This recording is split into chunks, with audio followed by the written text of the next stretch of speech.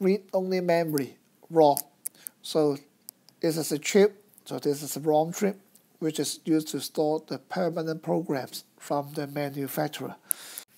Unlike RAM, ROM is non-volatile. That means the data or the information will be kept in the chip even the computer power is turned off. And there are other forms for ROM read-only memory. Let's say, for example, this is the EPROM, erasable programmable ROM. And nowadays, actually, the information stored in the ROM can be erased or can be updated. A very typical example will be the firmware. The firmware stored in the ROM of the PC or some other device such as the digital camera. So here this is the firmware of a digital camera which can control its function.